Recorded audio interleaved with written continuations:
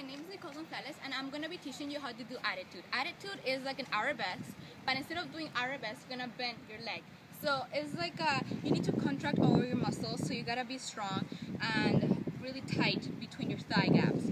And also, when you go on pointe, it's very hard to do an arabesque sometimes because you need to have balance and contract every single piece of your body. Um, arabesque is a, but it's unlikely arabesque. It is a bent and not a straight leg. Uh, I'm going to show you how to do it. So it's like this, and then you bend. And that's it. Thank you.